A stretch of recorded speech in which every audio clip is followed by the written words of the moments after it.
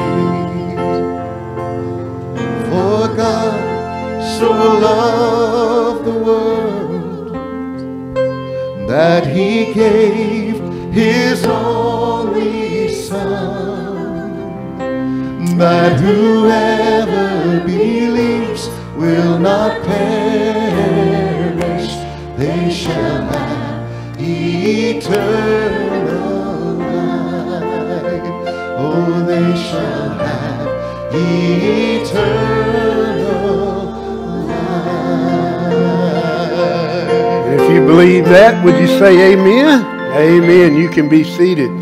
Well, good morning. Good morning. Now y'all awake. Y'all, how, how'd I catch up? There's always one, isn't it? Always one. Thank you, Mr. Ed. Good morning. So glad you made a choice to be here today. Good looking, bu- good looking bunch here with us this morning.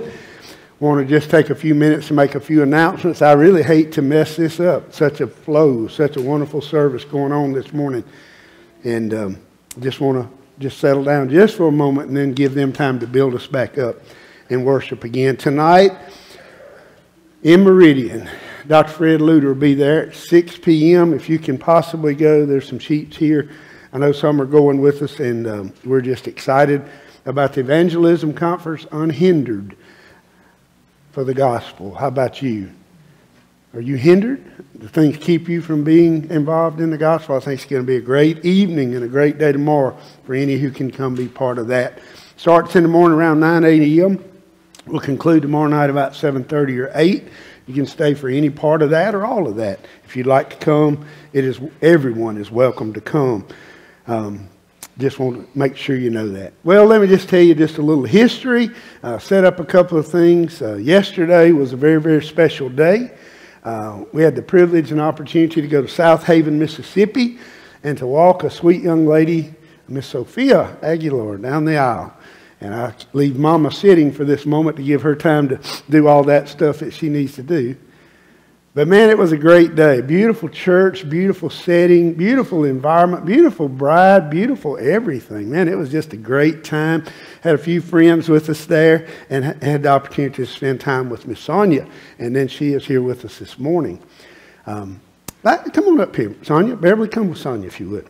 Just let me just some, some folks here might not know kind of the connection. This is one of our, we call them our missionaries. They're, they're natives to their country, but they serve in uh, La Esperanza and the areas around that in uh, Honduras. And uh, if you'd come back Wednesday night, she and I are going to just have a little Q&A right here, give her an opportunity to share. She's just a little cautious about that, and uh, I've assured her I won't ask her a hard one. But uh, normally Samuel is the storefront, and he's the one that says it all, and she just is the hands and feet of the ministry. But he couldn't be here, and most of you know the story. Uh, they've been working for a period of time trying to get all their paperwork to come to the States for this wedding yesterday and it just wasn't to be. And we don't understand all of that in, in this, on this side of, of glory, but it didn't happen. And uh, Samuel had called me and, and Sophia some months ago, and, and I had the opportunity to go and to walk her down the aisle, to give her away on behalf of Dad and the rest of the family and Miss Sonia. And it was a, it was a great day. But our relationship started back around 2007, 2008. Brother Greg was a pastor then, and he and I went and met Samuel in Tegucigalpa, and then we left there and went to Nicaragua, and Samuel was our translator. And that was my first real meeting and getting to know him. Brother Greg had met him and knew him a little bit before, but we just fell in love with one another. Our, our fellowship became so sweet, and ending that trip, we came back by their home, and Sonia, and at that time they had two children at that time. This is around 2007, uh, 8, somewhere in there. And the girls were like this size and this size. And Sonia and I were in the back as well. And the four of us sit in the back of a little, well, like we would recognize a little S10 with the little jump seats in the back. The four of us rode in the back of there. The four of us rode in the back of there. She, I, and the two girls, and Brother Greg and Samuel in the front. And we rode for six hours, maybe, roughly, roughly six hours to get to the drop off place where we were being dropped off for the next carriers to take us where we were going. And that's how our mission adventure went. Well, met them, fell in love with them, and then we had the opportunity over the years to stay in touch and then to go back. Many in this room have been to their home and been very close to them over the years. But then in 2010, I believe, we had them here And they stayed here some four, five, six weeks, stayed in our home, and was here to church and all the services. We had special events and all. And uh, uh, just, just grew to love these folks greatly. Many of you are connected with them on Facebook and so forth and so on. Many of you know them personally when they come. And today I just wanted her to come and, and you to see her. Uh, you see the Aguilars, the Sortos, and the Martinez. And you know Jorge and Yuli have been in recent years. But you might not have seen Sonia because it's been 10 years? Yes, sir. I think 10 years since they've been able to get stateside. So, what a day it is to have her here with us. Now, we called Samuel crying dad yesterday, and he was pitiful. And I FaceTimed him, and I was pretty br- brutal to him, to be honest with you. And uh, I told him I was recording it and putting it on YouTube yesterday afternoon. And he looked all over YouTube trying to find it, and he said, You sorry dog. if I would have put it on there, he would have laughed. But he said, You sorry dog. And I said, No, I didn't put it on there. But anyway, the next thing is today, following our service, Sonia and Beverly are going to be over in the fellowship hall near the coffee pot. Oh, I'm sorry. Beverly's got to go to Sunday school. Miss Jenny's going to be there with her. I hadn't asked her that. I forgot that. So Beverly won't, but Miss Jenny will be with her, and she has a little table set up. Go, go grab my little bag there, my little advertisement there, Bill. And uh, she's going to be sharing some things that you could pick up. Um, they're just ministry aids, things along the way. Um,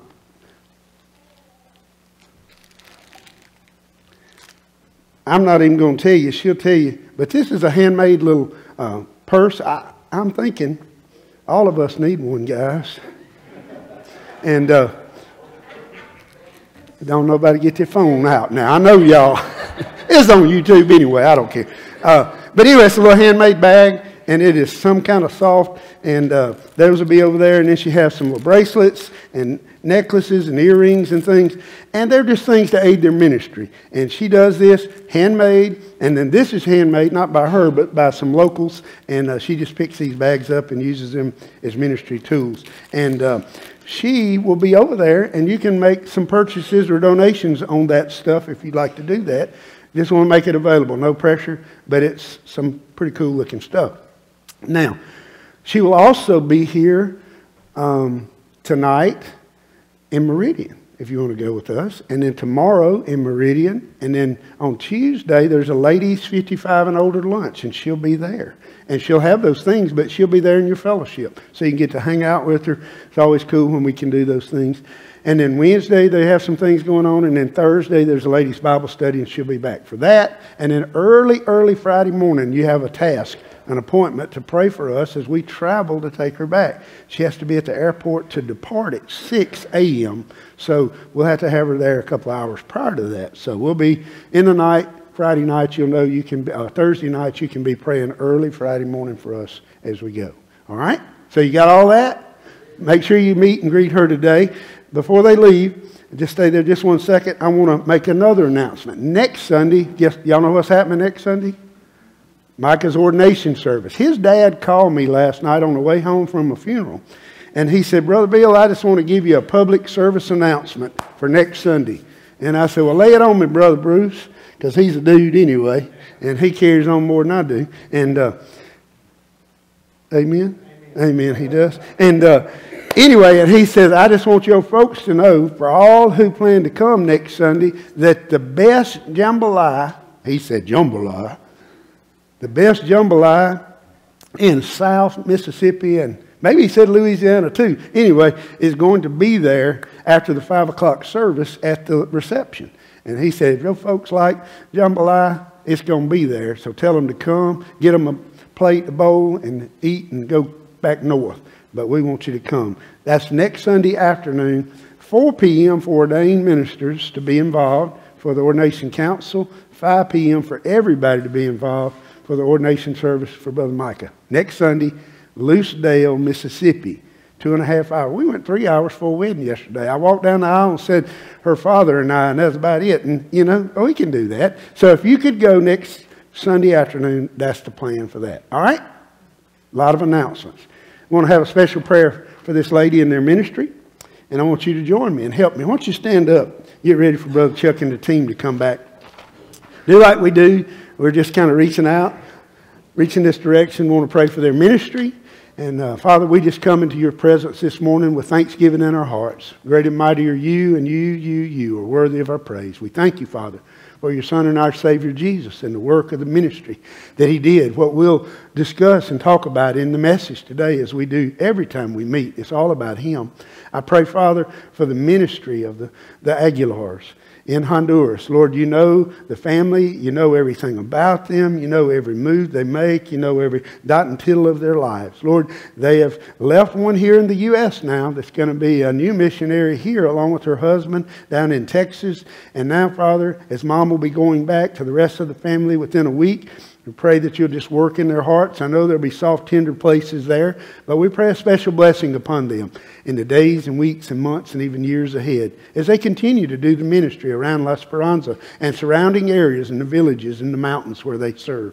I pray, Father, you bless Samuel and the rest of the family there today. I pray whatever their hands and feet are doing, that you would be honored and glorified and you would bless them and protect them. Give Sonia safety as she is here with us. Protect her and just give her a wonderful time. And I pray we'll shower her with blessings.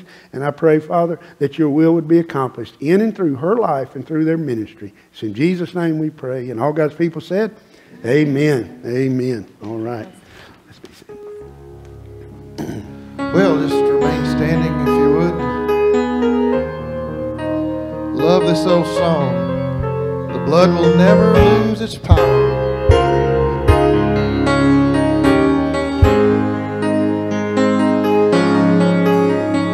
The blood that Jesus shed for me way back on Calvary. The blood that gives me strength from day to day. It will never lose its power. It reaches to the highest mountain. It flows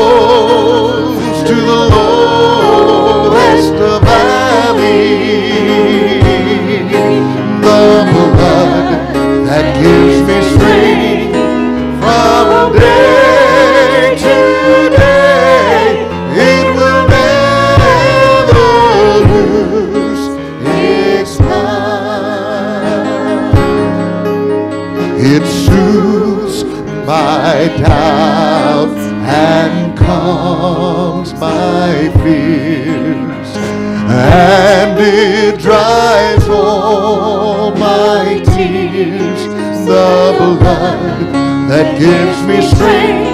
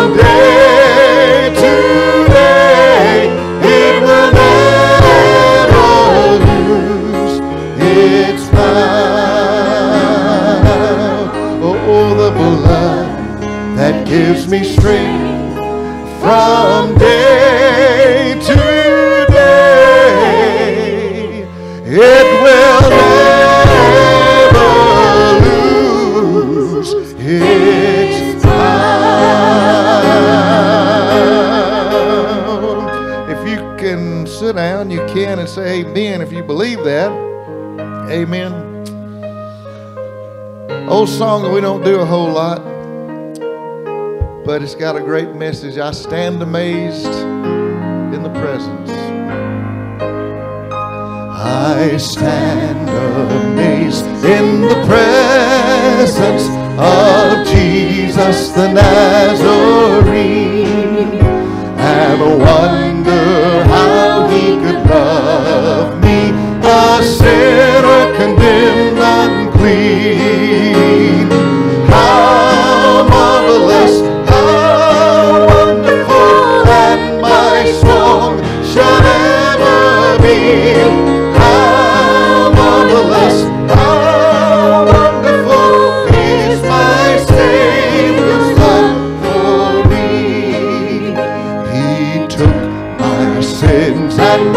My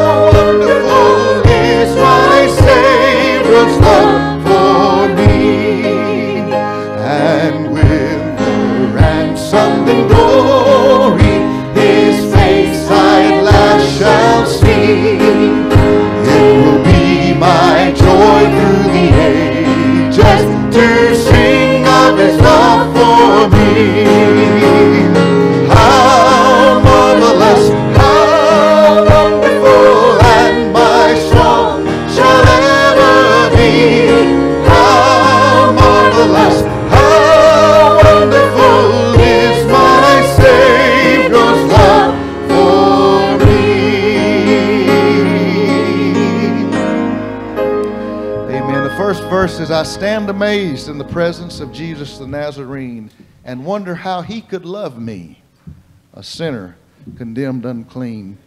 I'm reminded of the uh, story, and I love the story of the, the Pharisee and the, the sinner that went in to pray, and the Pharisee prayed, and he prayed first, Lord, I'm thankful that I'm not like other men. I'm thankful that I do all the things that I'm supposed to do, and I'm, I live right and I do right. I'm thankful that I'm not, I'm thankful I'm just a good person. I'm not like this, this, this other guy over here. And the old sinner just prayed, Lord, I, all I can say is have mercy upon me, a sinner. I don't deserve it. Uh, how can it be that you could die for me? That's the name of this song, How Can It Be? Hope I can hit this first note right. Messed it up at practice, but we'll get, we'll get it. Go.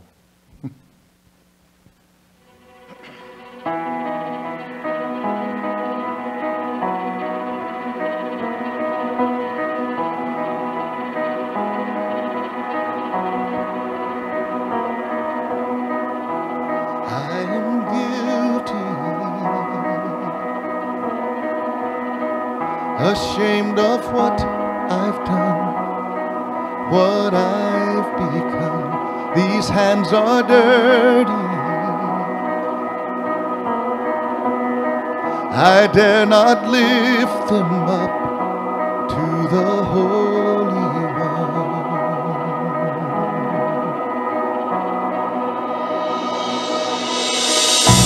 plead my cause. You right my wrongs. You break my chains.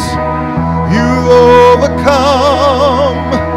You gave your life to give me mine. Say that I am free. How can it be? How can it be?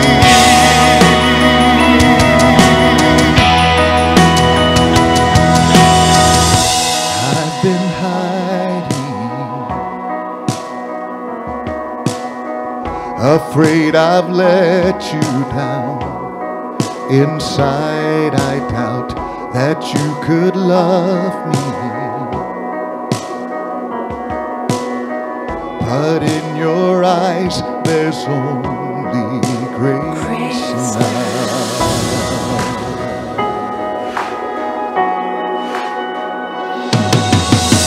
You plead my cause, you right my wrongs, you break my chains,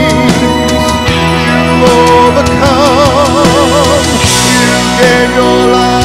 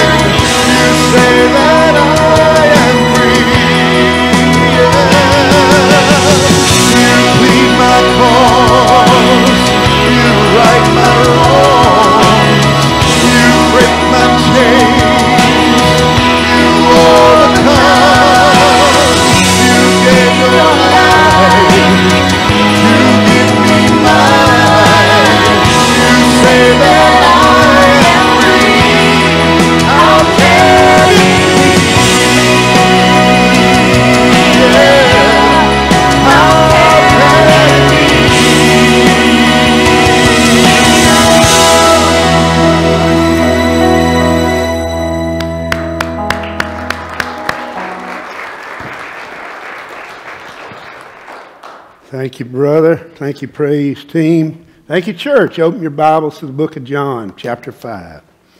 Book of John, chapter 5. My wife encouraged me just now and said that I got one place in what I shared with you that we did a wedding yesterday, and in one place that I shared with you, we came home from the funeral.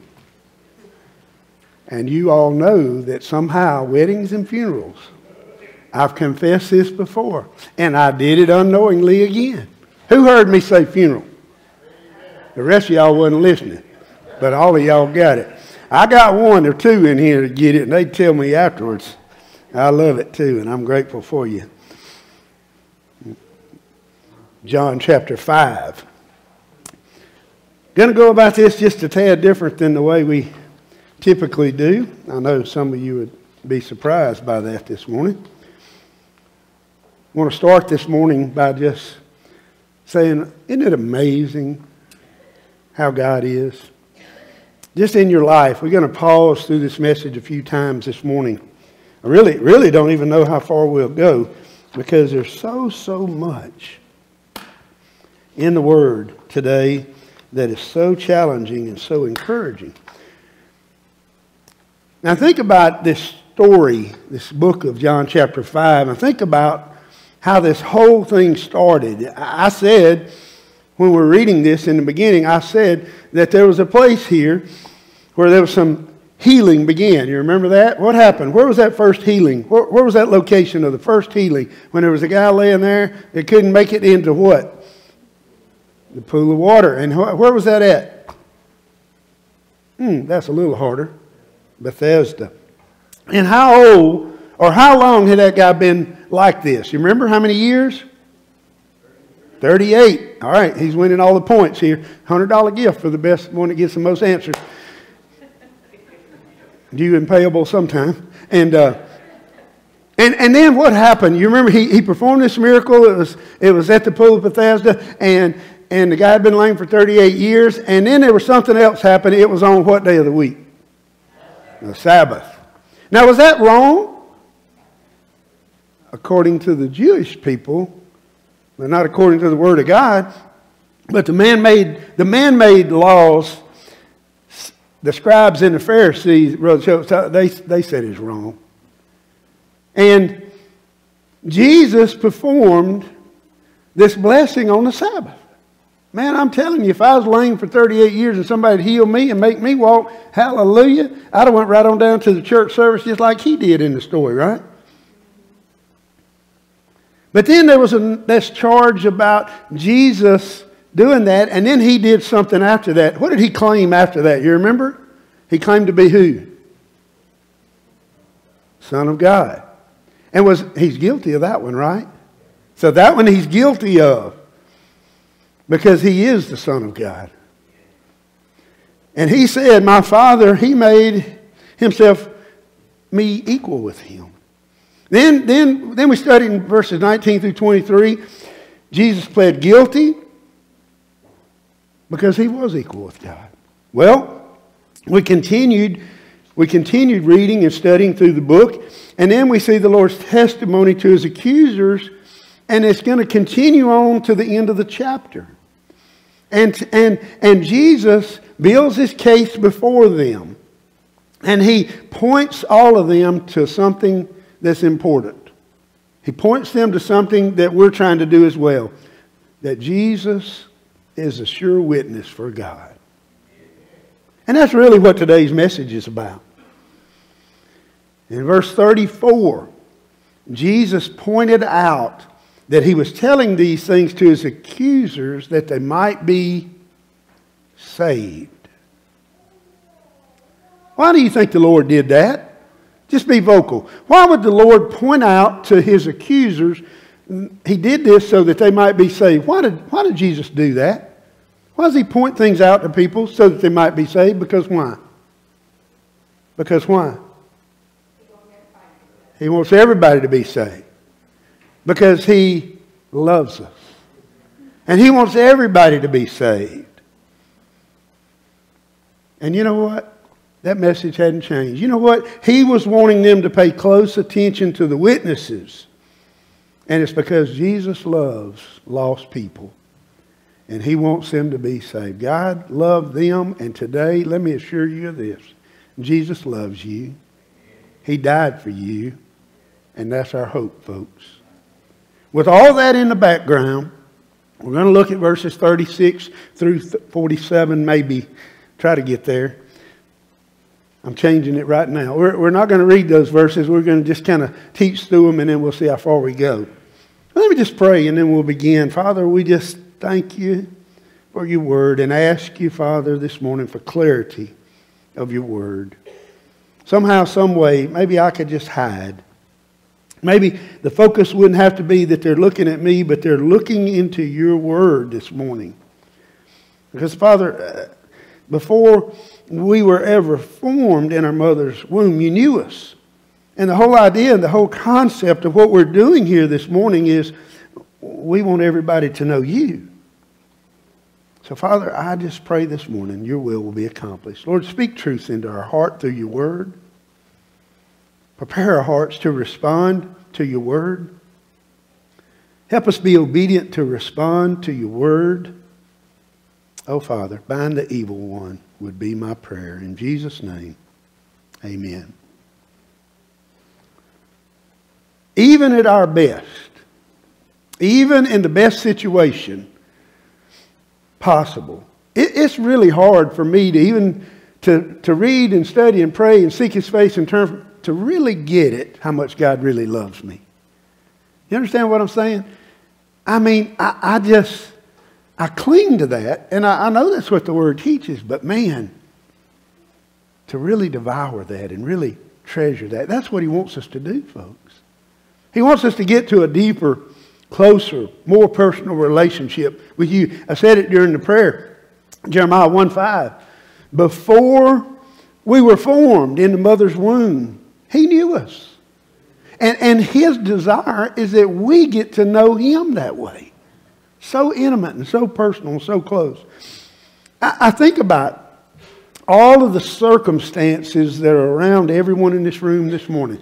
Now, let's, let's, let's let me embellish just a moment. Think with me.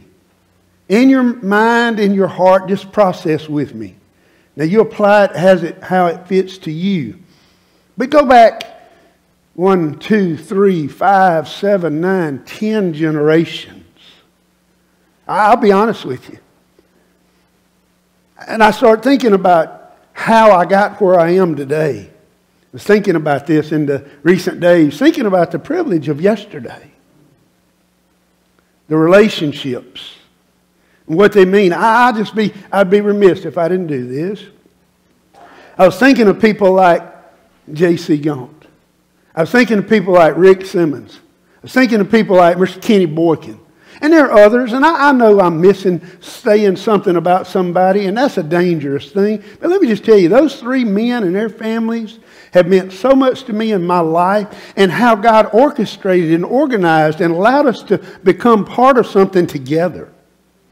Man, I was thinking about how we went to Durango, and five men, we went and we did the impossible, putting up a roof in a period of time that we wasn't supposed to. Man, God is amazing. Thinking about yesterday. That's what brought all this emotion and all these thoughts on this week. Thinking about what do I say? How, what do I do? How do I respond? How, God, I'm so grateful and so thankful that you brought me where I am today. You realize all the dots that have to be connected? All the check marks that have to happen? I mean, you think about the generations. Every person that is in your genealogy line. How that happened? Well, you know, my great, great, great, great, great grandmother and grandfather, they came and they met. And then they had children. And in those children, guess what they did? They had children. And, and just, just embellish that with me just a moment. And yours are the same. And for all these generations, all these things have happened with cause and with purpose. Not just something that happened, but it happened with a cause and a purpose. I believe it so much, I believe not one person is in this room by chance or by mistake or by some accident this morning. Even the one that would be here this morning say, well, you know, I almost didn't come this morning. It's not for the ones not here, it's for the people here this morning. God has a divine, perfect plan a good and perfect plan for you and for I. He knew that plan before you and I were conceived in our mother's womb. And his desire, along with a lot of other desires he has for us, but is that you and I, most importantly, would come to an intimate, personal, saving knowledge of Jesus Christ and know him better every day of our life. If we would do that, if we would accomplish that, everything in our life would be different. Everything would be different. I could call for testimony. How's your life different since you got saved? You know what I'm saying is true. Especially for those of us who have a lot of baggage. Like when we look back, there's dust for miles back there, right? And we look back. But how God orchestrates and puts all those things together. You know, not in our time, but in previous ancestral times, people were just fortunate to have a child, and the child lived through the sicknesses and the illnesses. They didn't have all the shots and things that we have to protect a child hundreds of years ago. Pestilence, disease, cold weather, tragedy, just tough stuff. You and I are in this world today and where we are today because God gave us life. That's the only reason. There's nothing else that works. And down through the ages, God did billions, listen to me, billions of things, some small, some big, to make sure you are here today to hear the gospel. That's what I believe. I believe that's what the Word of God teaches. And I believe we live it out every single day. It's not by chance. You make choices along the way which affect that. But I'm telling you this if God wants you to get there, He'll see you to it. No matter what He has to do, or how hard you're kicking and screaming and bucking, when He wants you somewhere, He'll show you the way. But you always have the choice to kick and scream and buck, or you can willfully surrender your life and go and serve and do. Folks, I'm telling you, God made sure you're here today because He loves you. And God wants us to have earthly life that's gloriously wonderful. But He also wants everyone to have eternal life with Him in heaven. Now listen. Matthew chapter 18, verse 14, Jesus said, It is not the will of the Father who is in heaven that any one of these should perish. You know what that tells me? God wants everybody to be saved. Could I get an amen? In 2 Peter chapter 3 verse 9 tells us that the Lord is not slack concerning his promise, as some count slackness, but is long suffering toward us, not willing that any should perish, but that all should come to repentance. Can I just tell you this morning? God wants you and I to repent. He wants us to be in right standing with Him today. God wants people to live forever in heaven, but He wants us to live our lives today with heaven already inherited into our lives. In other words, He wants us to be born again, Christ followers from this day forward. If you're already born again, He wants you to live it. If you're not and you're born again today, He wants you to get born again and live it. God wants people to live that way. Well, I see just two or three things that's got nothing to do with the text, right? You say? It's got everything to do with the text. Two or three things. Number one, Brother Derek came to me on Wednesday night and he said, Hey, did I miss or did you not cover verse 31 in our text from Wednesday night? I kind of did. I went back and listened to it, but, but I didn't do some things, and I, I want to make sure I do that. And this is a good time to do it. Look at verse 31 of, of John chapter 5. You can go back and watch the video and see where I didn't leave that or do that. I left it out. But here's what was said Jesus said, I bear, bear witness of myself. And then it says, My witness is what? Not true. It says not true, right? I read it and I, I, I shared just a tiny bit, but I really didn't go very deep there. So I just want to make sure that I cover that this morning, and then we'll continue because we're just studying through the book anyway. Here's the key we know that you have to take everything in context in the Word of God. Somebody say amen. You have to take chapter, verse, the whole thing, front and back, all that put together. Well, we know, we know without a doubt that Jesus was not saying that his witness of himself was not true. That would counteract Scripture. So, what does it say? Here's what the Scripture is speaking. Here, the word wasn't suggesting that Jesus was dishonest or not true. In fact, Titus chapter 1 verse 2 tells us that God cannot what? Lie. So we know that he is true. So we know that. Pastor William MacDonald, I actually had this in my notes, but I, I did not share all of this. And I'm grateful for somebody asking. Pastor William MacDonald, I spoke to him.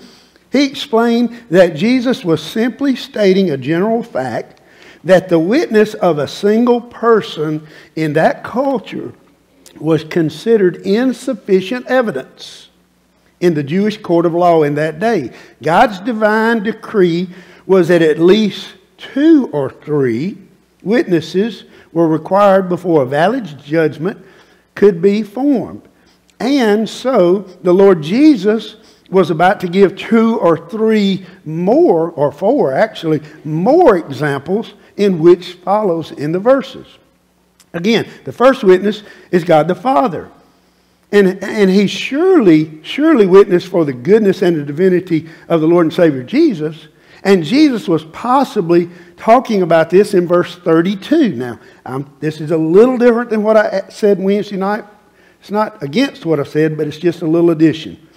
Verse 32, the Lord, there the Lord said, There is another who bears witness of me. And I know that the witness which he witnesses of me is true. So again, two or three, Jesus testified, and then the word. I, pretty much, when I read through that, I generally think it's talking about John the Baptist because the next two verses start talking about John the Baptist. But here's pretty clear with some in depth study. This is talking about where the original language, which we don't read in our translation, is talking about the original word here was there's another who will testify. Now, when you think about another, who do you think about? The Holy Spirit.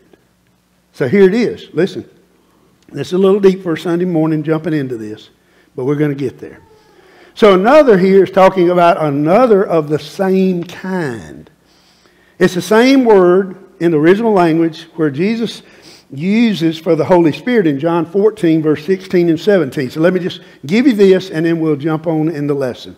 And just John 14, verse 16 and 17, Jesus said, I will pray the to the Father, and he will give you another helper or comforter, that he may abide with you forever. Got to be the Holy Spirit. Wasn't going to be John the Baptist. Can I get an amen? Even the Spirit of truth, whom the world cannot receive, because it never sees him, Holy Spirit, nor knows him. But you know him, we do, because he dwells in you and will be in you forever. Mm, amen. Jesus could have been talking about the Holy Spirit here, Heavenly Father, in verse 32. But in today's text now, in verse 36, I just wanted to go back and kind of, sometimes in the South, Michael, we say, we want to lick that calf over, you know. Just want to hit that uh, with a swab. If You weren't here and you don't know, don't get that, go back and watch Wednesday night. Maybe they'll clear that up. And maybe Derek's the only person that questioned that. I don't know. But I thought I should correct that and make sure that I taught that. So here we find ourselves in verse 36, our text. Look at verse 36, 37, and 38. You ready? Here Jesus says, But I have a greater witness than John's for the works which the Father has given me to finish this very works that I do bear witness of me that the Father has sent me. Verse 37 And the Father himself who sent me has testified of me, and you have neither heard his voice at any time or seen him his form. But you do not have his word abiding in you, because whom he sent, him you do not believe. Now, God the Father surely witnessed for the Son. Amen? And he witnessed the goodness and the divinity of the Savior. God the Father said something about Jesus that God had never said about anyone else up until Jesus. It's found in Psalms 53, verse 3. Now just jot it down. Don't go there. And this is what the Bible says God said, Every one of them has turned aside, they have together become corrupt. There is none who does good no, not one. That was before Jesus, folks. God was testifying that before Jesus there was none good. No, not one. See, when Jesus came, the Father gave the same testimony for Jesus both in the beginning and near the end of his life. This is what he said in Matthew. Well, he said this in another place, but first, he said, This is my blessed Son, or my beloved Son, in whom I am well pleased. And then in Matthew 3, verse 16 and 17, when Jesus, then he said this, Then Jesus, when he had began, had been baptized, came up immediately from the water. And behold, the heavens were opened to him, and he saw the Spirit of God descending like a dove and alighting upon him. And suddenly a voice came from heaven saying, This is my beloved Son, in whom I am well pleased. I'm thinking God the Father checked the box and said, This is my Son. in whom I am well pleased. Then, on the mountain of transfiguration, you remember the story found in Matthew 17, verse 4 and following, and the scripture says, Peter answered and said to Jesus, Lord, it's good. It's good for us to be here today. And if you wish, let me make here three tabernacles one for you, one for Moses, one for Elijah. Remember the story? Verse 5 says, While he was still speaking, behold, a bright cloud overshadowing them. And suddenly a voice came out of the cloud saying, This is my beloved Son, in whom I am well pleased. Hear him. And when the disciples heard it, they fell on their faces and were greatly afraid. But Jesus came and touched them and said, Arise and do not be afraid. You see, folks, God the Father has surely witnessed for the Son that He is Lord. There's another witness here. It's found in the next verses, kind of in what we've read and in the additional verses. In verse 36, Jesus said, But I have greater witness than John's for the works which the Father has given me to finish the very works that I bear witness of me that the Father has sent me. Think about, think about this with me. Think about the works of Christ in the past in your life. Just think about it. Man, since God saved you, remember, remember, I'm just now 30 years old in Christ. Hallelujah. It has happened. I am older in Christ than I am in Satan. Thank you, Lord Jesus, for letting me see another day. Man, 30 years of goodness. But let me just tell you, before the 30 years, he was so, so good to me because he got me to that place and that point. Remember, he lined up all the dots and the stars and made everything happen and somehow, some way protected me and shielded me. I don't understand it. God's amazing grace, I welcome it in my life. I think about in Scripture. There's a couple of stories that just stir my heart. One is found in Mark chapter 4. I'd like for you to just look at that with me. You can just keep your page there somewhere, some kind of way. I'm not sure if we'll use John anymore or not. But go to Mark chapter 4. Matthew, Mark, right there, chapter 4. Man, this is a cool story. Got two I want to share with you, and we'll see if we get back to the scripture of the day. Mark 4:35. I still hear pages. I love that sound. Never gets old. And Mark chapter 4, verse 35 says, On the same day, everybody there say amen. On the same day, when evening had come, he said to them, Let's cross over to the other side. Now, when they had left the multitude, they took him along in the boat as he was. Man, there's a lot said right there. This is not the message, but boy, there's a lot there. And the other little boats were also with him. Verse 37 says, And a great windstorm arose, and the waves beat into the boat so that it was already filling. In other words, the boat was sinking. Verse 38 says, But he was in the stern, asleep on the pillow, or on a pillow. And they awoke him and said, Teacher, do you not care that we are perishing? Man, there's so, this is a great message within itself right here. This is one of my favorite stories.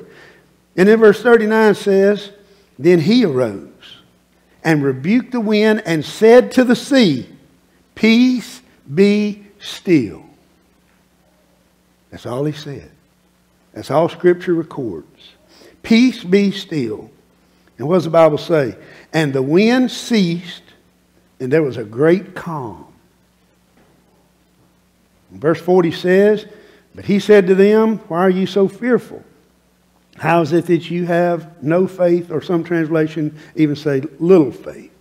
Verse 41 says, And they feared exceedingly, exceedingly, and said to one another, Who can this be that even the wind and the sea obey him? Wow.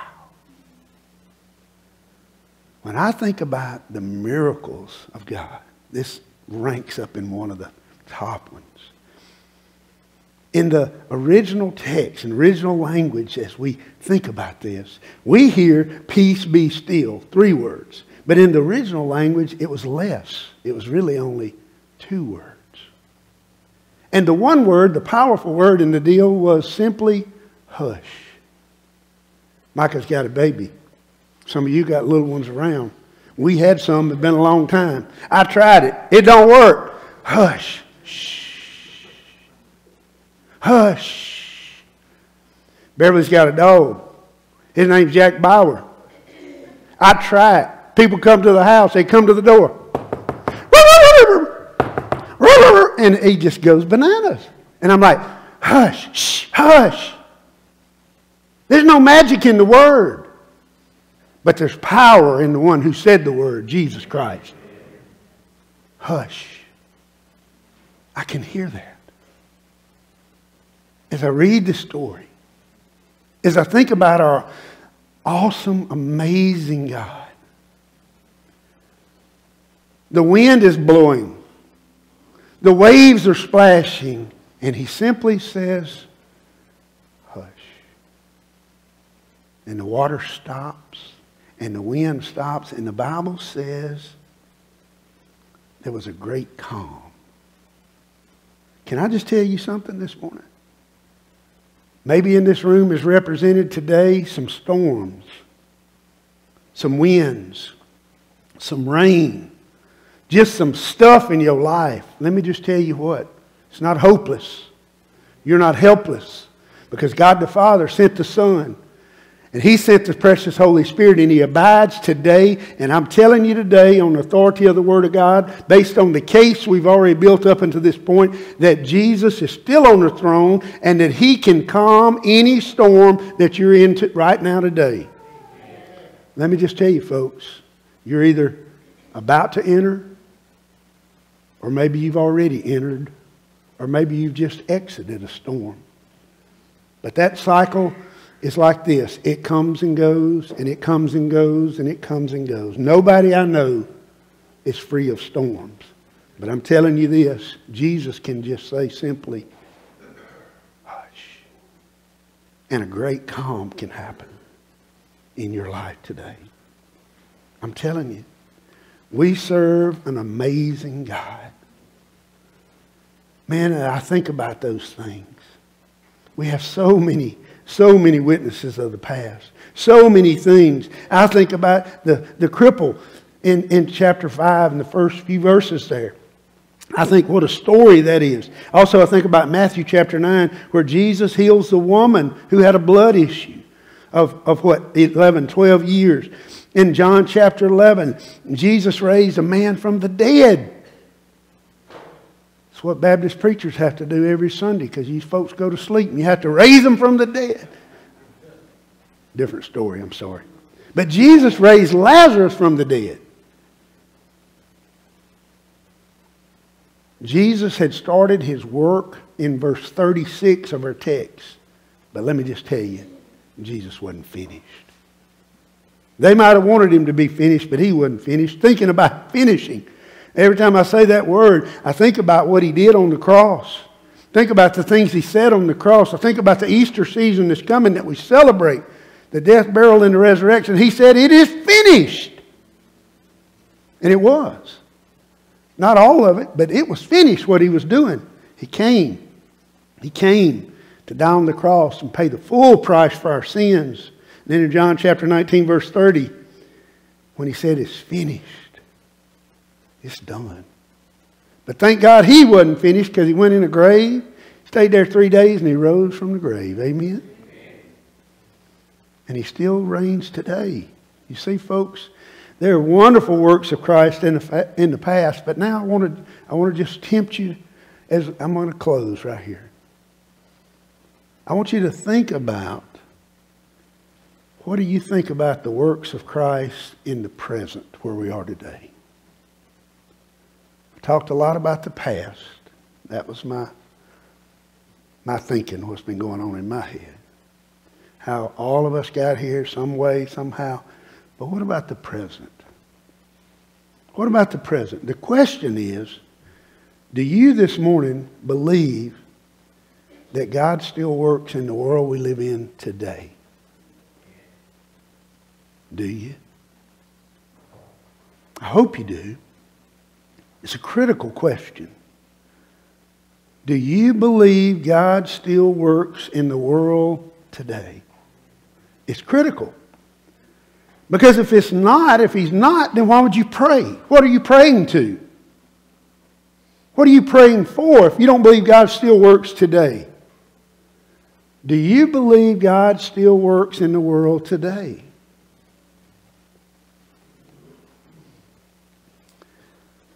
Let me just tell you if God is working in the world today,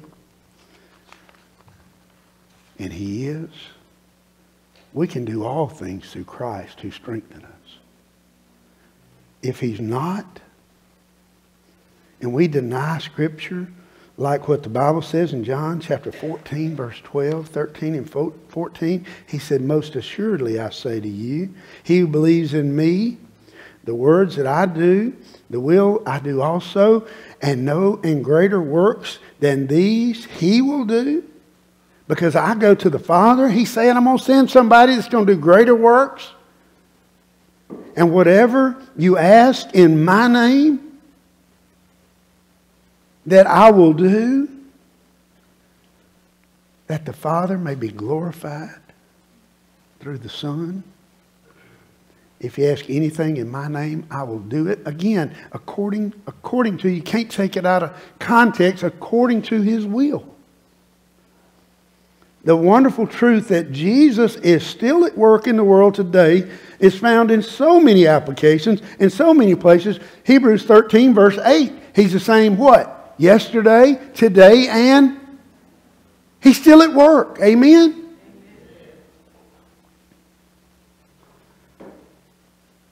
Take a, go to Psalms and take a left about seven or eight books. I think it's maybe seven books before. Second Kings. Just go back that way real quick.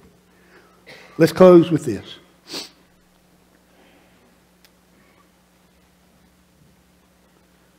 Another one of my miracle stories that I love. Second Kings chapter 6. Look there quickly. Second Kings chapter 6. We're going to look at verse 8. I don't know where we'll stop here, somewhere in a minute. 2 Kings chapter 6. The Bible says, Now the king of Syria was making war against Israel. And he took counsel with the servant, saying, My camp will be in such and such place. Remember the story? Somebody say amen. And the man of God sent to the king of Israel, saying, Beware that you do not pass this place, for the Syrians are coming down there. Verse 10. And then the king of Israel sent someone to the place which the man of God had told him. Thus he warned him, and he was watchful there, not just once or twice. Verse 11. Therefore, the heart of the king of the king the king of Syria was greatly troubled by this thing. And he called his servants and said to them will you not show me which of us is for the king or of, of Israel? Excuse me. Verse 12 and one of the servants said none my lord o king but Elijah the prophet who is in Israel, tells the king of Israel the words that you speak in your own bedroom. Verse 13. So he said, Go see where he is, that I may send and get him. In other words, he wants an insider in this deal, right? And it was told to him, saying, Surely he is in Dothan. Verse 14. Don't speed up and get on through this. Therefore, he sent horses and chariots and a great army there. And they came by night and surrounded the city. And when the servant of the man of God arose early and went out, there was an army surrounding the city with horses and chariots. And his servant said to him, Alas, my master, what shall we do? Verse 16. So he answered, Do not fear. For those who are with us are more than those with them. And Elisha prayed and said, Lord, I pray, open his eyes that he may see. And then the Lord opened the eyes of the young man, and he saw. And behold, the mountain was full of horses and chariots of fire all around Elisha. Can I just tell you, folks, the Lord can open your and my eyes just like that today. He can. The Lord opened the young man's eyes, and many times He'll do the same for us if we'll just pray and ask Him. God wants us to see the hands of God at work in our current world today. He is still at work in this world, and He will continue until the day that He says it is finished. And when He does, I'm telling you, when He does and He comes back, folks, listen to me, there's going to be a great joy for those who have been born again, but there's going to be great suffering for those who have rejected Him until the point of death.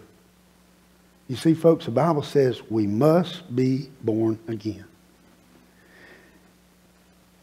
In our text, if we would continue reading in verse 39, it says, Search the scriptures, for in them you think you have eternal light, and these which they testify of me, but you are not willing to come to me that you may have life. Do you know this today? There are people who know that they're lost, truly living in darkness, living in blindness. But for some reason, pride, for some reason, haughtiness, for some reason, selfishness, even for some reason, I'll say the word ignorance is bliss. And people know that they don't know Christ savingly, but they'll go week after week and month after month and year after year and they'll continue to reject. Folks, I'm telling you, he's coming back. And when he comes back, there won't be an opportunity at that point in time. You see that knee bowing and tongue confessing at that time isn't going to get you into heaven. The knee bowing and tongue confessing then is just going to do just what Scripture says. He is. He is the Son of God. Today, my prayer would be through, in my mind right now, seems to be a, a muddled up bunch of stuff tried to be thrown together because it wasn't at all what I thought I wanted to do this morning. But somehow, some way, as God was sharing in my heart, and I'm trying to share with you what He has changed in my heart, we got to open our eyes. Open the eyes of my heart, Lord. Let me see that you are a witness of things to come. Today is a day of salvation. Now think about a lost and dying world. I don't want any part of that. But we're in it. So the way, the thing that we can do is continue to testify of the glory of God. Think about the things he's done. Think about the things he's doing. But look forward to the things he's going to do in our lives. We serve a great God. He loves you. Sent his son to die for you. And that's our hope. I know not what you need to do this morning, but I pray your eyes would be open through simple, trusting Jesus Christ today. Brother Chuck and the team are coming. I want you to stand this morning. We just trust the Holy Spirit to convince and convict according to His plan and His will. Would you open our hearts and our minds and our lives this morning, Father, to the gospel? It seems to me as we have shared things this morning, the message is, is true. You did come. You did die. And you did send back a greater one. The comforter, the protector. the sweet, precious Holy Spirit. You are all of these things. I pray this morning that you'd have your way now as we make decisions.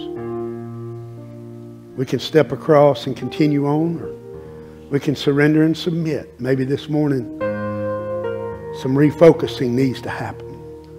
Resurrendering needs happening.